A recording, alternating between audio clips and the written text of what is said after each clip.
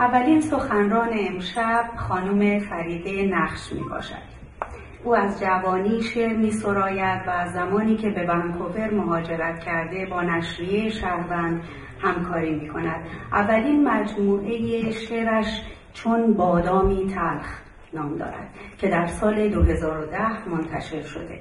او می‌گوید شعر من ساده و کوتاه است. و احساس و موسیقی در آن بسیار مخصوص و چشمگیر است و به راستی چنین است وقتی که می نویسد به خانه بیا. آنجا که بندی به پای نیست و زلال صمیمیت همه اقربه ها را میگرداند فریده از زندگی شعری خویی در متنی شاعرانه سخن می‌گوید و اجرایش را بر قامت بلندای یاران نام نهاده است. از خانم فریده نقش دعوت می‌کنم که به صحنه تشریف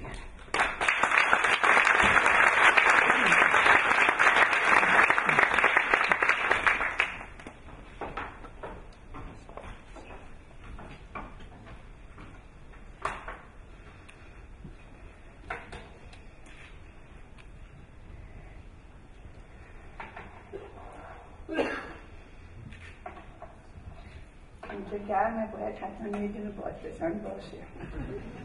نمیشه گواه عاشقان باشد که سردش بینی از دوزخ.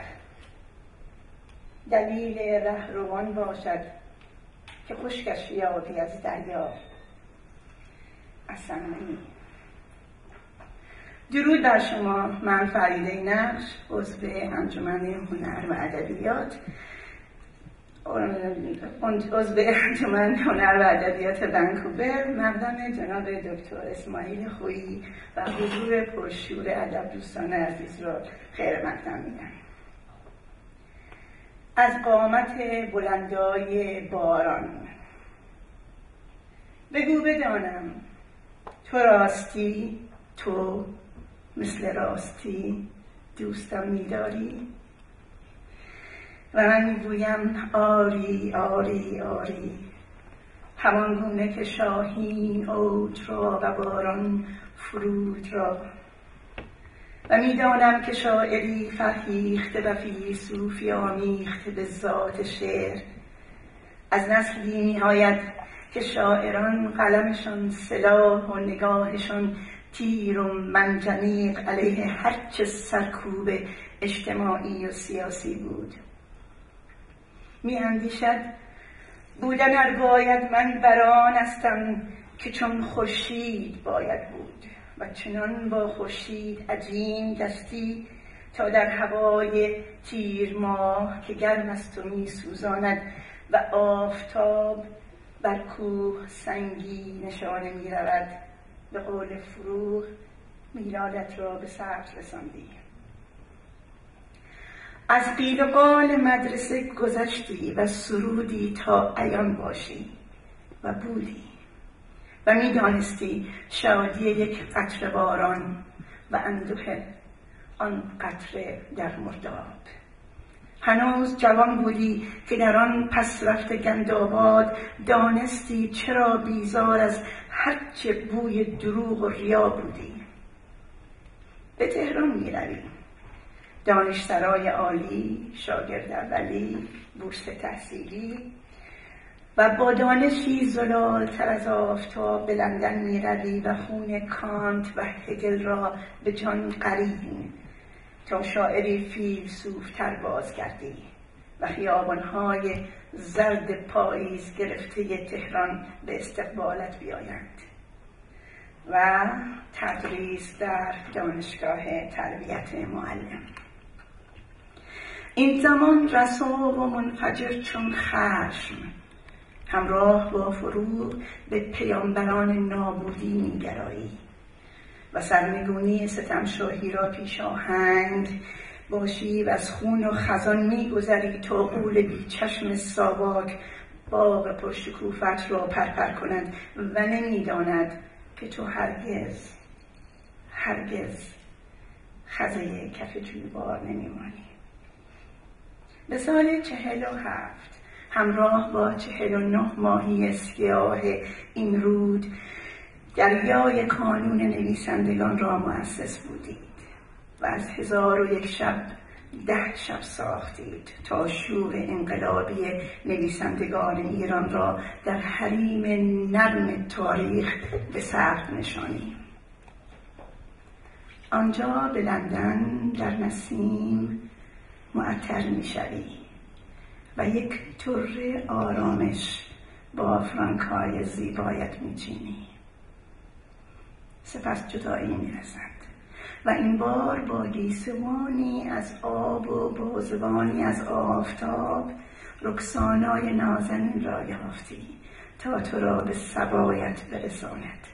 و همچون فردوسی پرستار شبهای دار و داروغت گشته و تیمار پدرگویت که از سله و کیسه پرزر پربارتر و درخشانتر است. تدریس اخراج باز تدریس باز اخراج. حکمتی باید باشد. تا دوبار اخراجت نکنند آرام نخواهند یافت. هنگامه انقلاب فرهنگی است که می‌گویی اگر دانشگاه مستقل نباشد پای پلیس و ارتش بدان باز خواهد شد. و برتر از آن تصمیم گیری در مورد کارهای دانشگاه به دست کسانی بیفتد که هیچ دانشی از دانشگاه ندارند. و چنین شد که از این جوی بار نهنگی زاده نشد. نشستی گشوده بر آفاق از آن ارغوانی جنگل مواج. خنجرهای خون آلوده پیدا شد و خنجر در قلب دوست. خون می نشاند این قول بی چشم در دل سعید سلطان پورت. آه مرگ جوان تو این ناگهان. و میاندیشی اینجا جای ماندن نمیماند هنگام گرگان خانه و کاشانه زیر رو کرده و هرچه بود و هست می‌برند و می‌برند دیگر از پی خبر نه که از پی سرایند و تو پرندهی در آرزوی پریدن شدی سر از چهار سو با دیوارهای این قفس می‌زنی پس آواره سرزمین لیاری می‌شوی. به یک دل غمگین به جهان شادی نیست. تا یک ده ویران بود آبادی نیست. تا در همه جهان یکی زندان هست در هیچ کجای عالم آزادی نیست. برگرفته از مصاحبه اسماعیل خویی با بی بی سی. آه چه دور است آزادی؟ رهایی نیست. از دامی به دام دیگری رفتن. نمیمانی پشت دیوار شکسته پشت می‌کنی به دیوار شکسته و ببی در کجای عالم نه ترک وطن که ترک فرمون فرمای آخوندی می‌کنی. و ناگهان سنگی می‌شوی. افتاده بر سیقلینه ای از یخ. تو با زبان ظریف و تصویر آفرینت در انفجار خزان کولیان برگ جشن کوچ برپا می‌کنی به جایی که حقیقت را خالی از چون و چرا کردی تا اندیشه های فلسفی و سیاسیت را بیانی انتقادی و روشنفکرانه در غزلی و ربایی به جان بنوشانی. بیدین دلک مرا تو دینی ای شعر. در عالمی از شکم. تو یقینی ای شعر. جز با جان ترک من نخواهی گفتن دمهای مرا تو واپسینی ای شعر. ای شاعر فیلسوف که سخنت در شیوایی و سراحت اثری جان آفرین میبخشد هیچ میدانی ستاره بامدادان و ستاره شام تک ستاره ایست با شعر تو شنونده را گرم می کند سرد می کند به شگفت می آورد تکان می دهد مسترد می کند می خنداند به خشم می آورد. وقتی که من بچه بودم لذت خطی بود.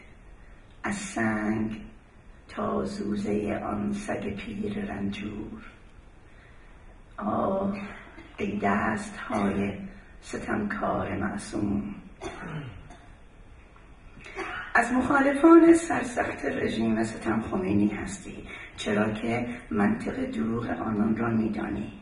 و همچون بسیاری از بزرگان جهان فتوای قتل سلمان رشدی را رد می‌کنی. گر بخشش خسمان خدا خواهم از خلق. گر بخشش خسمان خدا خواهم از خلق نام همشان می‌برم و نام شما نه. سنجیدم و دیدم که نشانی ز تکامل احکام نرون دارد و احکام شما نه. ادعی بود از روزانه در یکی از مصاحبه های آقای خواهی. با این حال امید داری که به خانه خواهی رفت. و گرمای تنی ز مهربانی خورشید بی نیازت خواهد کرد. تو را می‌پرسم شعر چیست که این, که این گونه با جانت عجین؟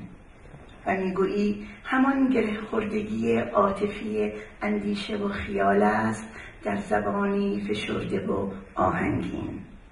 شعر خوب مثل دیدن اوریان است. پس در صندوق خیال میگشایی و از ململ تمثیل پیراهنی میبافی آراسته و بایسته. میگریزم می‌روم میمانم نه دست شکسته و نه چنگ بکسسته می‌دانم که از سرزمین محبوبم میآیم از ماه به زمین مینگرم. آه چه زیباست اما دور. و من اوج می‌گیرم. از قامت بلندای باران پر بر آسمان میگسترم و هرگز هرگز خزه کف جویبار نخواهم ماند.